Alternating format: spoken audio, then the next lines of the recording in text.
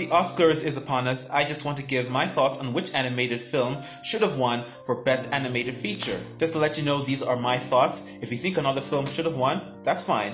Everyone's opinion is subjective. And to avoid confusion, for anything that's nominated is usually from the previous year, so anything that was made in 2022 is nominated for this year in 2023.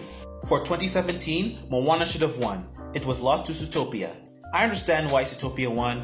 A beautiful and engaging story, and also animal characters. So I get I get why. But Moana has more beautiful animation, especially the ocean animation, which is really spectacular, and also the performances by uh, Auli'i Cravalho and Dwayne The Rock Johnson, and the music by Lin-Manuel Miranda. Lin-Manuel Miranda never disappoints. For 2018, it should have been The Breadwinner. The Breadwinner lost to Coco. Personally, I still need to see this movie, and I'm sorry for this, but The Breadwinner, what I've heard, it's so heartbreaking and the story is just so captivating. From what I can tell, this movie looks very good. 2019, Leave It, Into the Spider-Verse deserved that win. For 2020, it's a crime that Klaus did not win for Best Animated Feature.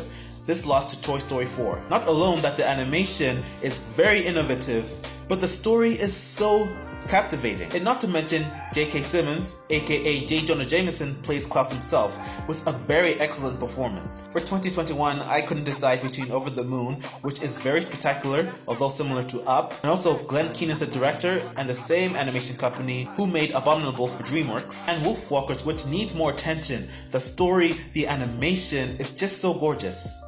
They both lost to Pixar's Soul. For 2022, it was between Mitchells vs. the Machines and Encanto. Encanto deserved that win as it should, but I think this one is a close second. And you can tell it has amazing humor, engaging characters, and the animation style is very into the Spider Verse. It's just so well done. This deserved the win. I'm manifesting hard that Puss in Boots wins for 2023.